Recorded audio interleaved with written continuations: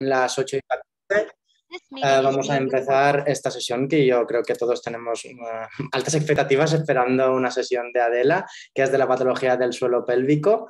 Nos la presentará eh, una, radióloga del abdomen del Hospital La Fe, que creo que ya la conocéis de otras sesiones, Adela Batista. Ah, recordad que cuando acabe la sesión, que será sobre las 8 y 45, podéis hacer vuestras preguntas en el chat y se leerán en el turno de las preguntas. Eh, muchas gracias a todos por estar aquí hoy y Adela, cuando quieras, adelante. Ah, muchísimas gracias.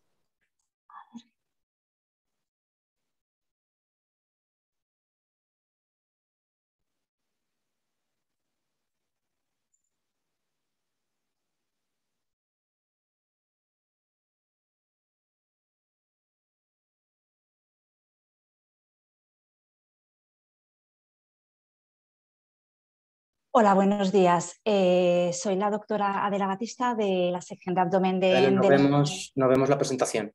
Ah, ¿no veis? Perdón. Perdona, no estás compartiendo, Adela. voy, voy, voy. A ver cómo hemos hecho antes. ¿Dónde estoy? No sé, no sé dónde estoy.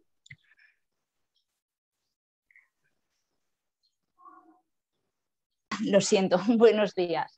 Empiezo de nuevo.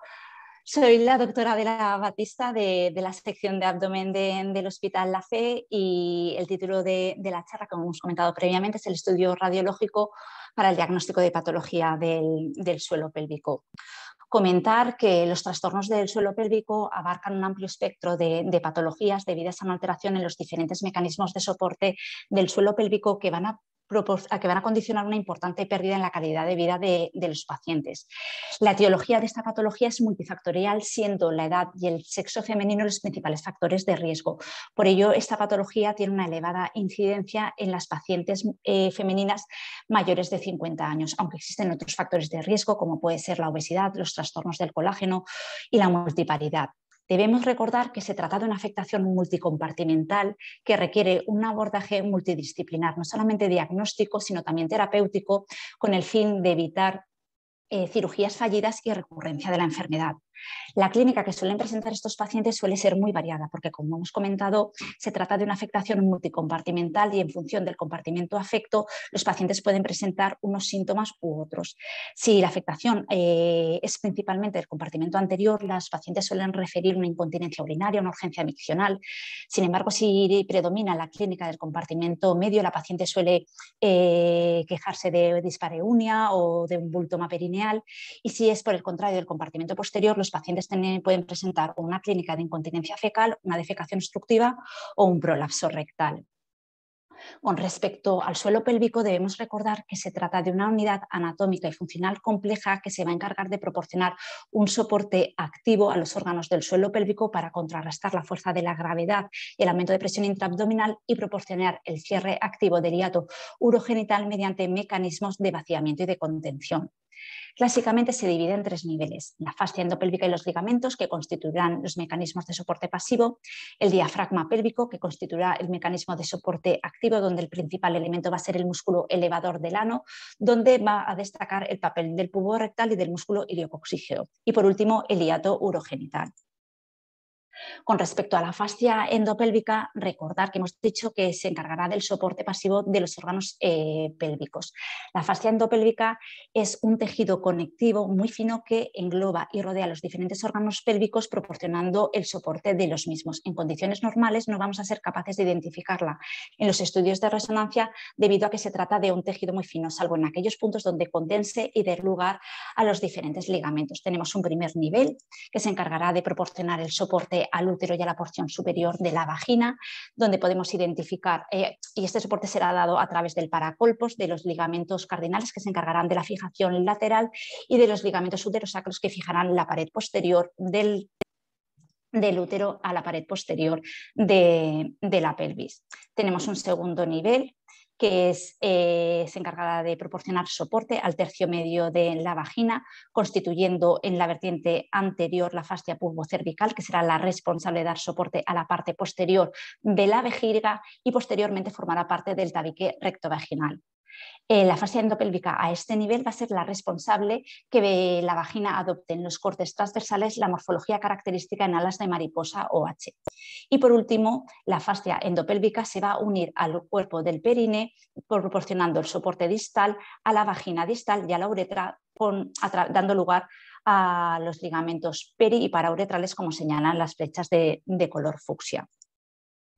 Con respecto al diafragma pélvico, como hemos comentado anteriormente, es el mecanismo de soporte activo y está constituido fundamentalmente por el músculo elevador del ano. Hemos dicho que el músculo elevador del ano estaba formado por el músculo iliocoxigio, el pubo, el pubo rectal y el pubocoxigio. Este último no somos capaces de diferenciarlo en los estudios de resonancia y por eso no vamos a hablar de él. El músculo iliocoxigio lo podemos identificar con claridad en los cortes coronales, donde adopta eh, presenta una presentación horizontal de morfología curva de concavidad inferior que tiene su que se inicia en las fibras más externas del esfínter externo del ano y desde aquí se dirige lateralmente y se abre para insertarse en el arco tendinoso. Las fibras más posteriores del músculo iliocoxigio se van a condensar y van a dar lugar al plato del elevador que somos capaces de identificarlo con claridad en los cortes sagitales de la de resonancia. Y con respecto al músculo puborectal, presenta una morfología característica en U que tiene su origen en la síntesis del pubis y desde aquí rodea y envuelve todo el hiato urogenital, quedando englobada la uretra, la vagina y la unión anorrectal. Con respecto a las diferentes técnicas de imagen para el diagnóstico de la patología del suelo pélvico, pues existen varias opciones. Una de ellas es la ecografía, a través de diferentes abordajes, bien a través del abordaje transperineal, la ecografía transanal o vaginal. Los principales inconvenientes es que la ecografía pues, siempre es una técnica operador dependiente y debido a los diferentes abordajes solamente nos va a permitir obtener información de un solo compartimento. Y como hemos comentado, estamos ante una patología multicompartimental y debemos de aportar siempre una visión global. Otra de las técnicas de imagen es la videodefecografía. Es una técnica rápida y sencilla que requiere únicamente la pacificación del recto con un contraste eh, varitado y nos va a proporcionar información en tiempo real de lo que ocurre en la defecación. Además, eh, es capaz de reproducir de manera fielmente las condiciones fisiológicas que tienen lugar durante la defecación. Los inconvenientes, pues la radiación a la que sometemos al, al, paciente y aunque nos aporta información funcional, no vamos a obtener ningún tipo de información anatómica. Y también el estudio queda limitado únicamente al compartimento posterior. Y a continuación tenemos la resonancia dinámica del suelo pélvico, que es la técnica gol estándar para el estudio de la patología del suelo pélvico. ¿Y por qué decimos que es la técnica Gold estándar? Porque la resonancia tiene una gran resolución de contraste tisular, una capacidad multiplanar y todo ello nos va a permitir realizar una valoración multicompartimental de lo que está ocurriendo en el suelo pélvico. Además, con el uso de secuencias ultra rápidas vamos a poder llevar a cabo un estudio dinámico que nos aportará información funcional. De esta manera vamos a conseguir, sin radiaciones ionizantes, una valoración global de la pelvis, obteniendo información acerca de las estructuras de soporte de los diferentes órganos pélvicos e información funcional que va a ser necesaria para poder llevar a cabo el diagnóstico de los diferentes trastornos.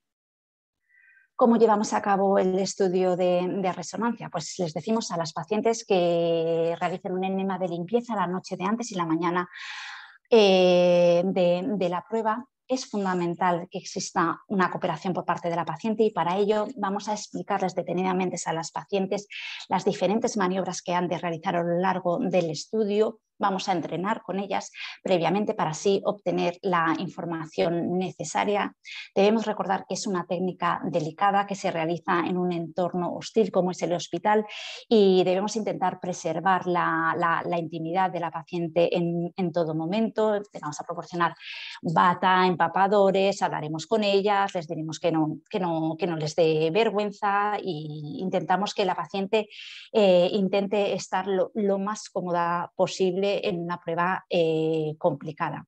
El estudio se realiza en decúbito supino, nosotros utilizamos equipos de un Tesla y medio, colocamos una bobina de ocho canales en la pelvis de la paciente y llevamos a cabo la distensión de, del recto. Nosotros utilizamos eh, gel ecográfico a temperatura ambiente y las cantidades que recomiendan las, diferentes sociedades radiológicas, tanto europeas como americanas, es entre 120 y 180 centímetros cúbicos. Siempre debemos eh, intentar evitar que haya una distensión excesiva del recto que, le confiera cierto disconfort a la paciente y haga que no, no esté del todo cómoda en la prueba porque de esta manera no conseguirá realizar las maniobras que, ha de, que ha de realizar. Perdón con respecto al uso de gel para distender la vagina ya no existe tanta unanimidad. Y lo cierto es que las diferentes sociedades europeas y americanas no, recomiendan su uso, pero nosotros en nuestro hospital sí que solemos distender la, vagina con una pequeña cantidad de, gel ecográfico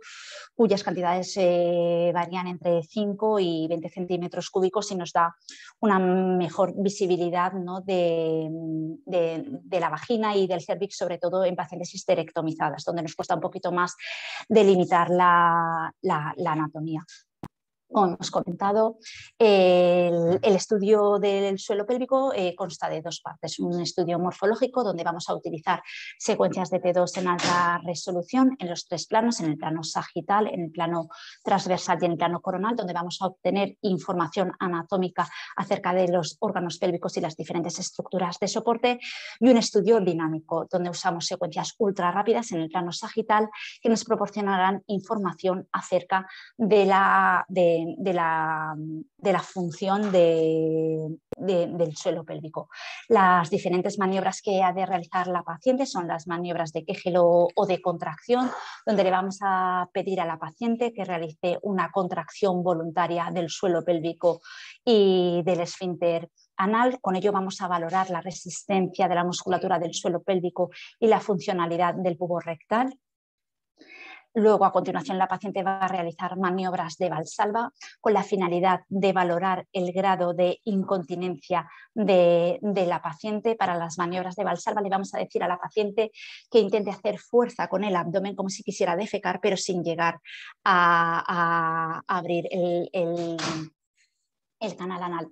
En muchas ocasiones las pacientes que tienen incontinencia no realizan correctamente estas maniobras de valsalva por pudor a, las pérdidas y una manera de monitorizar y saber si está la paciente realizando de manera adecuada las maniobras de valsalva es fijarnos en el movimiento de la pared abdominal. Si vemos que la musculatura de la pared abdominal se abomba, como en este caso sí que vemos que está, eh, la paciente está realizando un aumento de presión intraabdominal y está realizando de manera adecuada la maniobra de valsalva y así podemos valorar la severidad de, la incontinencia. Y por último, finalizamos el estudio dinámico con las secuencias de defecación. Con las secuencias de defecación vamos a valorar si existe cualquier tipo de trastorno durante la defecación, si existe prolapso de los órganos pélvicos o un descenso del suelo pélvico. Las maniobras de defecación recomiendan todas las guías realizar al menos tres secuencias de defecación hasta conseguir un vaciado completo de la ampolla rectal. Si no se consiguiera este vaciado completo de la ampolla rectal, esta información ha de quedar reflejada en nuestro informe porque es una información muy valiosa para los cirujanos de cara a plantear las diferentes eh, actitudes terapéuticas y recordar que una defecación normal lo que se va a producir es un ligero descenso del suelo pélvico, la relajación del pubo rectal que va a permitir la apertura de el canal anal y el vaciamiento de la ampolla rectal. Habitualmente en un paciente normal el vaciamiento de la ampolla rectal se consigue en unos 40-50 segundos. En el estudio morfológico, como hemos comentado anteriormente, vamos a valorar anatómicamente los diferentes órganos pélvicos y a identificar potenciales lesiones en las diferentes estructuras de, soporte. Aquí tenemos el caso de una paciente donde vemos que existe una marcada deformidad de la pared lateral izquierda de, de la vagina, lo que nos indica que existe una lesión en la fascia endopélvica. En este otro caso, la paciente lo que presenta es un hundimiento de la pared posterior derecha de la vejiga como signo indirecto de la lesión de la fascia pubocervical, que como hemos comentado al, inicio de la, presentación es la responsable de dar soporte a la pared posterior de la vejiga. Y por último, en este último caso que vemos cómo existe una solución de continuidad en el ligamento parauretral del lado izquierdo, que era el responsable de la clínica de incontinencia urinaria que presentaba la paciente. El estudio morfológico nos sirve no solamente para valorar eh, lesiones indirectas de las estructuras pasivas, sino también para la valoración de las estructuras de soporte activa. Y este es el caso de una paciente que tras su segundo parto vaginal presenta una clínica de incontinencia fecal. Los cirujanos realizan una ecografía transrectal donde objetivan que existe un desgarro de las fibras del esfínter externo del del ano se repara quirúrgicamente, pero tras la cirugía persiste la clínica de incontinencia fecal de la paciente, por lo que se decide realizar estudio de resonancia de la pelvis. Y lo que nos encontramos es que vemos una importante asimetría entre las fibras del pubo rectal del lado izquierdo con respecto a las del lado derecho. En el lado izquierdo, la lazada del pubo rectal está íntegra, lo vemos tanto en los cortes transversales como en los cortes sagitales, sin embargo, vemos que existe una ausencia completa de fibras del pubo rectal en el lado derecho con retracción tendinosa, que era la responsable de la clínica de incontinencia fecal que presentaba nuestra paciente. Y el estudio morfológico, pues aparte de valorar las diferentes estructuras anatómicas que hemos repasado anteriormente, pues nos permite el diagnóstico incidental de otro tipo de patologías, pues bien un quiste uretral en este caso, o la presencia de una masa que improntaba sobre la cúpula vesical, se trató de un GIS intestinal o un quiste cervical. Tras el estudio morfológico vamos a llevar a cabo el estudio dinámico, donde vamos a trazar una serie de puntos y líneas de referencia que nos van a permitir llevar a cabo el diagnóstico del prolapso de órganos pélvicos o descenso o relajación del suelo pélvico. Recordar que estas dos entidades forman parte de la debilidad del suelo pélvico y aunque suelen coexistir y estar íntimamente relacionadas, son dos entidades diferentes que debemos saber diferenciar. El prolapso de los órganos pélvicos constituye una protrusión anormal de los órganos pélvicos a través del hiato eh, urogenital y el descenso o relajación del suelo pélvico es un descenso de la unión anorrectal bien en reposo o durante la defecación que lo que nos transmite es una debilidad o ineficacia de los diferentes elementos de soporte del suelo pélvico. ¿Cómo, realizamos el estudio? ¿Cómo comenzamos nuestro estudio? Pues nuestro estudio siempre lo vamos a comenzar trazando nuestra línea de referencia, que va a ser la línea pubocoxigia, que hace referencia al anclaje de la musculatura del suelo pélvico. La línea pubocoxigia la vamos a trazar desde la parte posterior de la sínfisis del pubis hasta la última articulación coxigia. Una vez tenemos trazada nuestra línea de referencia, vamos a trazar líneas verticales perpendiculares a la línea pubocoxigia que se, van a eh, que se van a dirigir a los diferentes puntos de referencia. El punto de referencia en el compartimento anterior va a ser la base de la vagina. El punto de referencia en el compartimento medio va a ser el labio anterior del cervix, que es la porción más anterior e inferior del cervix. El punto de referencia en el compartimento posterior va a ser la unión anorrectal. Debemos de recordar que todos estos puntos de referencia en un paciente sano deben de estar localizados por encima de la línea pubocoxigia o a menos de un centímetro por debajo de la misma. ¿Y cómo vamos a llevar eh, a cabo el diagnóstico del prolapso de los órganos pélvicos? Pues recordar, en primer lugar, que durante las maniobras de defecación se puede producir cierto descenso de los órganos pélvicos, pero nunca ha de ser superior al centímetro por debajo de la línea pubocoxigia. El prolapso de los órganos pélvicos va a estar referido para el compartimento anterior y medio. Y como hemos comentado anteriormente, lo primero que vamos a hacer es realizar nuestra línea de referencia, que es la línea pubocoxigia, que recuerdo que va desde la parte posterior de la sínfisis del pubis a la última articulación coxigia. A continuación vamos a trazar líneas verticales perpendiculares a nuestra línea pubocoxigia que se van a dirigir a los puntos de referencia, la base de la vejiga en el compartimento anterior y el labio cervical en el compartimento medio. Si esta distancia es superior a un centímetro por debajo de la línea pubocoxigia, estamos ante un prolapso de órganos pélvicos. Recordar que vamos a utilizar la regla de tres para establecer el grado de severidad y hablaremos de un prolapso leve cuando el descenso de los puntos de referencia oscile entre 1 y 3 centímetros, moderado cuando oscile entre 3 y 6 centímetros y severo cuando esta distancia sea superior a 6 centímetros. Debemos de realizar las, perdón, las medidas en reposo y durante las maniobras de defecación en el momento de máximo esfuerzo para saber si existe prolapso en reposo o durante la defecación. Con respecto al diagnóstico del descenso y relajación del suelo pélvico, el mecanismo es similar. En primer lugar, siempre vamos a trazar nuestra línea de referencia que va a ser la línea pubocoxigia. Y a continuación vamos a trabajar con la línea H y con la línea M. La línea H hace referencia a la anchura del hiato pélvico y la vamos a trazar desde la parte posterior de la sínfisis del pubis a la pared posterior de la unión anorrectal, que coincide con la impronta del músculo puborectal y la línea M, que hace referencia a la altura del hiato pélvico, la vamos a trazar, va a ser la línea vertical que vamos a trazar desde la parte posterior de la línea H, perpendicular a la línea pubocoxigia. En condiciones normales, la línea H ha de ser inferior a 6 centímetros y la línea M ha de ser inferior a 2 centímetros. Recordar que las medidas se deben de tomar tanto en reposo como durante el momento de máximo esfuerzo en las maniobras de defecación. Resumiendo lo que hemos ido comentando a lo largo de, la presentación, tenemos que forman parte de la patología de la debilidad del suelo pélvico el prolapso de órganos y la relajación o descenso del suelo pélvico. El prolapso de los órganos consiste en un descenso de los órganos a través del hiato por un desequilibrio entre las fuerzas de expulsión y de retención y en función del compartimento afecto y del órgano afecto reciben diferentes nombres. Con respecto a la relajación, descenso del suelo pélvico es un descenso anormal del suelo pélvico de la unión anorrectal, tanto en reposo o durante las maniobras de defecación, debido a una debilidad en las estructuras de soporte. Pone de manifiesto una incompetencia del sistema músculo-ligamentoso de soporte del suelo pélvico. Y para el estudio de los diferentes compartimentos, recordar la anatomía, compartimental y las diferentes patologías que podemos encontrar. En el compartimento anterior, que está formado por la vejiga y por la uretra, podemos encontrar cistocele o hipermotilidad ureteral, uretral, perdón, en el compartimento medio que está formado por el útero, el cervix y la vagina podemos diagnosticar prolapsos uterinos o colpoceles y en el compartimento posterior la patología que podemos diagnosticar es un rectocele anterior, invaginación, enterocele o descenso del suelo pélvico. Y también tenemos la contracción paradójica del pubo rectal que veremos al final de la, de la presentación. Como hemos comentado en el compartimento anterior, ¿qué es lo que tenemos que diagnosticar? Tenemos que diagnosticar si existe un cistocele, es decir, si existe un descenso superior a un centímetro con respecto a la línea pubocoxigia de la base de la vejiga. Y como siempre, vamos a comenzar el estudio trazando nuestra línea de referencia, la línea pubocoxigia, y a continuación la línea vertical perpendicular a la línea pubocoxigia y vemos como esta línea mide más de un centímetro, por lo tanto estamos ante un cistocele de grado moderado en esta paciente.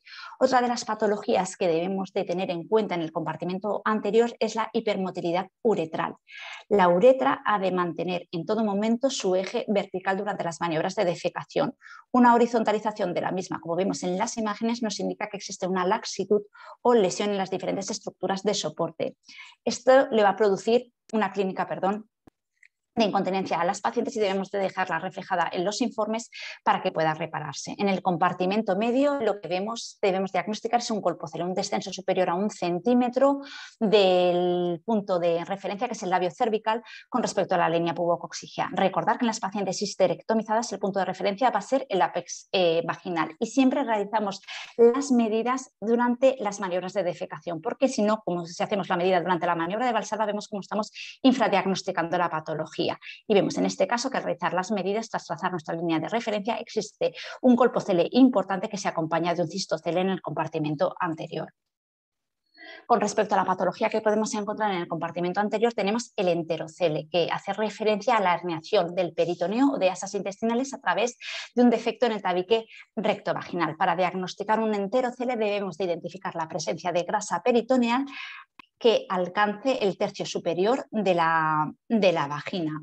En función del contenido del saco herniario recibe diferentes nombres, enteroceles si hay asas de intestino delgado, peritonocele si únicamente se hernia grasa intestinal o sigmoidocele. Lo vamos a gradar como incipiente, laminar o de gran tamaño, que serán aquellos los que adopten un, volumen importante y, y impronten sobre el perineo y aparezcan como un bultoma. Incluso pueden ser los responsables de una clínica de defecación obstructiva al comprimir la unión anorrectal e impedir una correcta evacuación de la ampolla rectal con respecto, continuamos con la patología del compartimento posterior y vamos a hablar de la invaginación o del prolapso rectal. La invaginación es un descenso de la pared rectal inducido por un eh, esfuerzo crónico y una disrupción facial. Puede afectar únicamente a la mucosa o al espesor completo de, de la pared rectal. En función de su localización vamos a hablar de una invaginación de localización intrarrectal, intranal o extranal. En el caso de la invaginación external también recibe el nombre de prolapso rectal. Tener en cuenta que este prolapso rectal no tiene absolutamente nada que ver con el prolapso de los órganos que hemos visto en el compartimento anterior y posterior, sino que hace referencia al mayor grado de severidad de invaginación. ¿Vale? Si vemos un descenso de la unión anorrectal, no podemos hablar de prolapso rectal, sino de descenso o relajación del suelo pélvico. Que quede claro este concepto para no, eh, diagnosticar de manera errónea eh, la patología del suelo pélvico. Aquí tenemos varios eh, ejemplos de imaginaciones rectales. En este caso vemos cómo existe una ah, invaginación que afecta únicamente a la mucosa de la pared posterior del recto de localización intrarrectal. Por lo tanto, estaríamos ante una invaginación mucosa intrarrectal. En este otro caso vemos cómo la invaginación, el descenso de la pared, afecta al espesor completo de la pared y también se localiza en la porción distal del recto. Se trataría de una invaginación completa intrarrectal. Y en este otro caso vemos cómo existe una invaginación de espesor completo que afecta a la totalidad de, las capas de, la pared rectal que se localiza eh, a nivel intranal. Con respecto al prolapso rectal, como os he comentado anteriormente, es un término que se ha de utilizar exclusivamente para describir el grado de mayor severidad de la invaginación rectal y no para hablar de extenso del suelo pélvico. Y aquí tenemos el caso dramático de una paciente que durante la defecación vemos cómo se produce un descenso de la totalidad de, la pared rectal que arrastra las diferentes estructuras eh, del periné que asoman a través del canal anal y estamos ante un caso de prolapso rectal que es de esta manera como lo ven los cirujanos en la exploración física en las pacientes que, sufren este tipo de patología. Continuamos con la patología en el compartimento posterior y vamos a hablar del rectocele anterior. El rectocele anterior es una protrusión anormal de la pared anterior del recto que va a improntar sobre la pared posterior de la vagina. Existen rectoceles eh, posteriores, pero son muy poco frecuentes debido al mayor refuerzo de la pared rectal por las diferentes estructuras fibrosas y óseas que presenta a su alrededor. Los pacientes que suelen presentar un rectocele anterior suelen debutar con una clínica de defecación obstructiva, de estreñimiento crónico o una sensación de, evacuación incompleta durante la defecación, al quedar retenido el contenido fecal en el interior del, del rectocele, siendo en ocasiones necesarias maniobras de digitación o de estimulación de la pared posterior de la vagina para conseguir un vaciamiento completo del rectocele.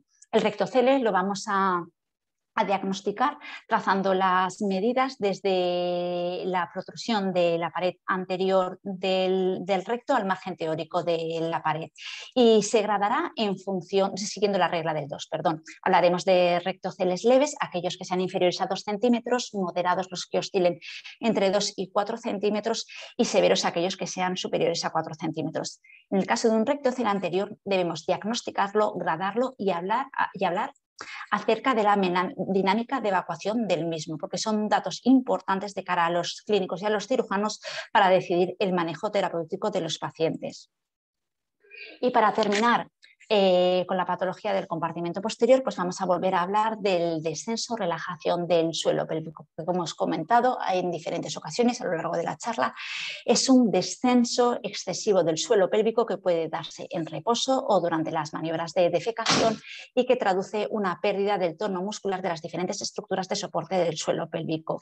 Para diagnosticarlo siempre comenzamos con nuestra línea de referencia, que es la línea pubocoxigia, trazamos la línea M que nos va a aportar información acerca de la altura del suelo pélvico, que en condiciones normales ha de ser inferior a 2 centímetros, y de la línea H, que eh, nos, aportará información acerca de la anchura. Siempre que exista un descenso del suelo pélvico, se va a producir una elongación y un aumento de la altura del suelo pélvico, de manera que los valores de la línea M y de la línea H van a aumentar. Y para terminar, vamos a hablar de la contracción paradójica del pubo rectal, que hace referencia a una contracción eh, ineficaz de, la musculatura estriada del suelo pélvico, de manera que va a impedir una evacuación correcta de la ampolla rectal. La herramienta que tenemos para diagnosticar eh, la contracción paradójica del pubo rectal va a ser el ángulo anorrectal. El ángulo anorrectal lo vamos a obtener de la intersección de una línea que pase por el centro del canal anal y otra línea que pase por la pared posterior del recto inferior y así vamos a obtener las medidas del ángulo anorrectal, que en condiciones normales ha de presentar unas medidas entre 108 y 127 grados.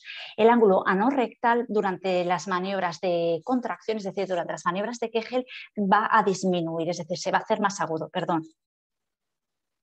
Se va a hacer más agudo y durante las maniobras de defecación, al producirse una relajación del cubo rectal, este ángulo se va a hacer más obtuso, permitiendo la apertura del canal anal y el vaciamiento de la ampolla rectal. En los pacientes que presentan una contracción paradójica del cubo rectal o un anismo, lo que va a ocurrir es que este, el cubo rectal no se va a relajar y el ángulo anorrectal va a aparecer siempre de manera similar en las diferentes secuencias. Y de esta manera podemos establecer el diagnóstico eh, de estos pacientes que suelen presentar una clínica de defecación obstructiva.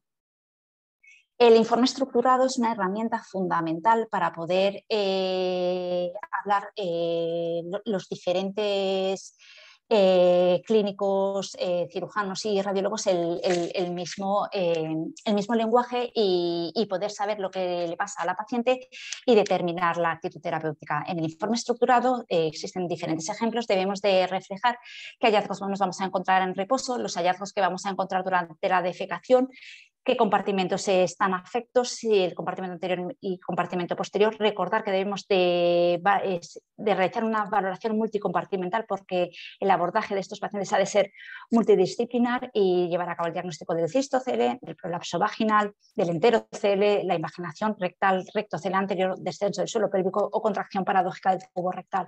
El informe estructurado nos va a recordar los diferentes puntos que debemos repasar y así que no se, no se nos olvide nada, ya que se tratan de exploración largas con mucha información y que quede todo reflejado en nuestra conclusión.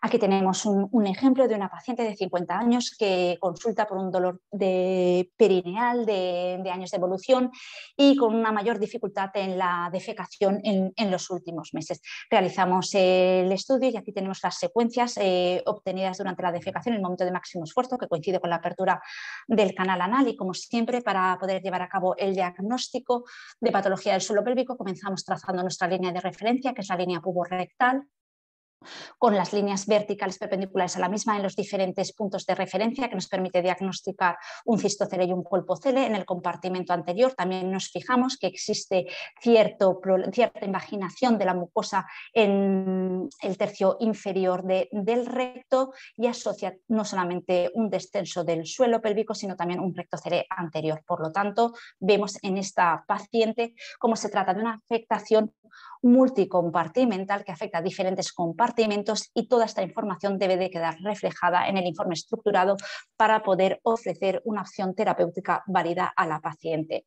Y este sería un ejemplo de un informe estructurado con los datos clínicos, la técnica realizada, los hallazgos que encontramos en el estudio en reposo y durante la defecación, los hallazgos en el compartimento anterior y medio, los hallazgos en el compartimento posterior y la conclusión. Para terminar, decir que la patología del suelo pélvico es un problema clínico complejo y prevalente en la población femenina la elección del tratamiento de la patología del suelo pélvico va a depender muchísimo de las pruebas de, imagen, de la información que aporten y la resonancia dinámica es una herramienta básica. Debemos de trabajar en equipos multidisciplinares donde todos hablemos el mismo idioma y para ello vamos a utilizar un informe estructurado donde vamos a aportar información acerca de la anatomía de las estructuras de soporte y funcional, decir cuántos compartimentos están afectos y en qué medida están afectos para obtener así una información válida y poder ofrecer una opción terapéutica a nuestros pacientes. Muchísimas gracias por vuestra atención. Ah, muchísimas gracias Adela por esta presentación ah, realmente excelente, ¿no? con mucho detalle, nos has explicado con muchas imágenes ah, una patología que para muchos radiólogos es desconocida. Tenemos una serie de preguntas, si te va a parecer las vamos contestando. Claro, por supuesto. Entonces, la primera pregunta es de Salva, nos dice, ¿tú crees que el informe radiológico de la patología pélvica debería incluir también la valoración de biomarcadores cuantitativos? Pues en, un principio no, porque no estamos hablando de ningún tipo de, patología tumoral y, en un principio yo creo que, con, los puntos de, de referencia y las líneas de referencia que están recogidas en la literatura, es más que suficiente. De hecho, uno de los problemas de, los inconvenientes de, la resonancia pélvica en muchas ocasiones es que, dada la variabilidad de, los puntos y, referencias que existen en la literatura, es la variabilidad de, los resultados en, las diferentes pruebas, en función de, los puntos y líneas de, referencia que se utilicen o, que lleve a cabo el radiólogo. Entonces hay que intentar consensuar eh, qué puntos y líneas de referencia se han de, utilizar para, unificar criterios y, que sea una prueba válida. La siguiente pregunta es, ¿tú crees que los algoritmos de la inteligencia artificial podrían ayudar al diagnóstico y manejo de la patología del suelo de la pelvis? Yo supongo que la inteligencia artificial siempre es una gran herramienta que estará ahí, nos ayudará, pero yo no sé si llegaré a, verlo, pero por supuesto que toda herramienta ¿no? que, facilite y que consensúe y que disminuya la variabilidad interobservacional que, que tenemos, pues siempre va a ser de gran ayuda. Muchas gracias por estas respuestas. La, siguiente pregunta es la que tenemos también de Salva. Nos dice, ¿has comentado la importancia de la unidad multidisciplinar para la valoración de los pacientes con patología del suelo de la pelvis? ¿En tu experiencia se llega con facilidad al consenso de la toma de decisiones? Pues difícil, difícil pregunta. Me pones en un compromiso. Eh, sí que se suele llegar al consenso, pero es verdad que, cuesta ¿no? este abordaje multidisciplinar y muchas veces los cirujanos, los urólogos y los ginecólogos tienen la única visión unicompartimental y a veces se, olvidan, pero de eso se trata los comités, de, discutir, consensuar y debemos intentar eh, llegar a, un acuerdo por el beneficio del paciente. ha salido bien de... no hay ningún cirujano, ¿no? Mi hospital escuchando la charla. Sí, sí. Eh, la siguiente pregunta es de Luis Domínguez. nos dice, bueno, gran aporte que realiza la RM a este tipo de patología del suelo pélvico. ¿Tenéis instruido a los técnicos de radiología en la planificación personalizada de dichas secuencias o son secuencias estandarizadas e iguales para todos los pacientes? El, protocolo de resonancia es estandarizado para todos los pacientes y nuestros técnicos eh, están totalmente instruidos y nos ayudan a explicar a la paciente las, diferentes maniobras en las que, ha de son, que han de realizar. Son especialmente cuidadosos, además, los técnicos, porque como he comentado a lo largo de la presentación, es un estudio delicado e intentamos que, que la paciente se sienta a gusto para que pueda realizar las maniobras de manera correcta, porque si no, nosotros no vamos a obtener la, información necesaria. Entonces, es un estudio que está estandarizado, siempre se, realiza igual en todas las pacientes. En algún caso donde no conseguimos la evacuación completa, el técnico nos avisa y entonces nosotros, como radiólogos, en función de la clínica que presente el paciente, podemos añadir secuencias adicionales, como si necesita digitación para la evacuación o añadir alguna secuencia en un plano transversal aunque es lo excepcional, porque habitualmente con el estudio estándar obtenemos la, información suficiente. Perfecto. La siguiente pregunta es mm, eh, de Antonio Cabrero. Nos dice, ¿podrías concretar cómo insistir al paciente para realizar la maniobra de Kegel?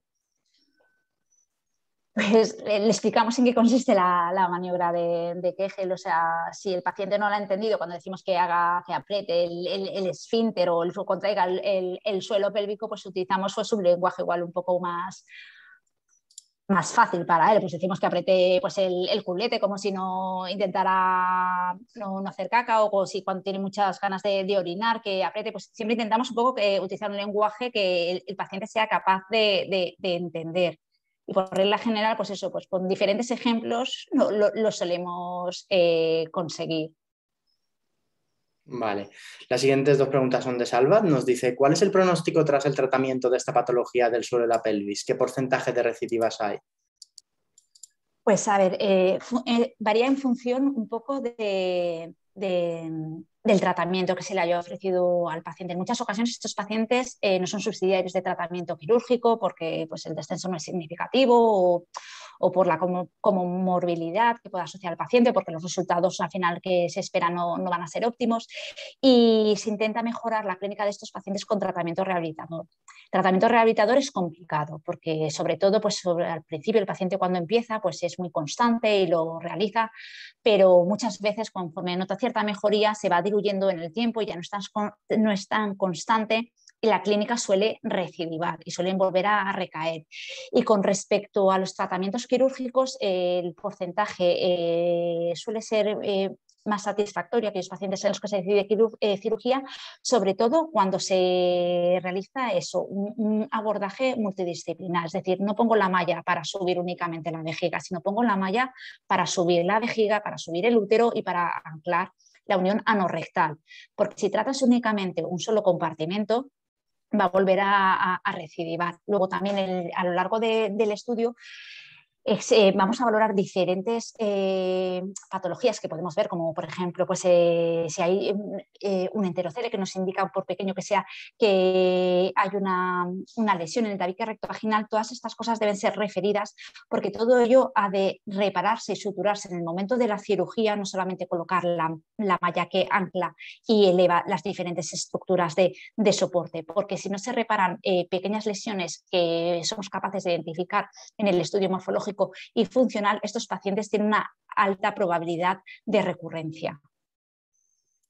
Creo que he sido un poco larga con la pregunta, pero es una patología que es bastante compleja, que no existe un tratamiento mágico y, que en ocasiones, pues eso, no, no obtenemos los, los resultados que, que, nos gustaría. También depende muchísimo de, de, la edad de la paciente. Pues cuanto mayor es la edad de la paciente, por regla general, los resultados son, son menores, tanto si se determina tratamiento rehabilitador como si se determina cirugía. Muchas veces, en ocasiones, los cirujanos también a veces son reacios, los pacientes mayores a la hora de insertar mallas a nivel que anclen el el compartimento posterior, porque te dicen que en el caso que luego aparezca una neoplasia rectal o en esa localización, dicen que se las pueden ver y desear para luego conseguir llevar a cabo una resección completa por toda la fibrosis que genera. Entonces, es difícil muchas veces consensuar cuál es la mejor eh, opción terapéutica del paciente y por eso pues, los, porcentajes de, éxito igual no son tan elevados como nos gustaría bueno, seguro que con el tiempo eh, todo es ir haciendo, ¿no? Sí. Sí. Eh, la siguiente pregunta es eh, de la doctora Isabel Meneo. Nos pregunta, ¿no cree que para el compartimento posterior el hecho de que la defecografía se realice en posición fisiológica sentada puede ser más real si se sospecha en este compartimiento la patología? Eh, sí, totalmente de acuerdo, pero nosotros no tenemos máquinas de resonancia donde podamos realizar la, defecografía, aunque existen en pacientes sentados y utilizamos la resonancia porque nos permite un abordaje multicompartimental para valorar los diferentes compartimentos. Es verdad que la literatura eh, describe eso, que la videodefecografía eh, tiene una mayor rentabilidad diagnóstica que la resonancia dinámica de pelvis en la patología del compartimento posterior, pero perdemos información acerca del resto de, de los compartimentos, porque efectivamente cuando una persona está tumbada, las maniobras de defecografía no reproducen con fidelidad las condiciones fisiológicas que tienen lugar durante la defecación. Eh, y una última pregunta ya, ¿eh? ya, gracias por aguantar el tiro. Nos pregunta Salva si los expertos en fisioterapia y rehabilitación colaboran en el tratamiento de la patología del suelo de la pelvis. Sí, Sí, hay una unidad específica de, rehabilitación del suelo pélvico que está eh, compuesta por un médico rehabilitador y varios fisioterapeutas, donde se dirigen las pacientes que son subsidiarias o candidatas a tratamiento rehabilitador.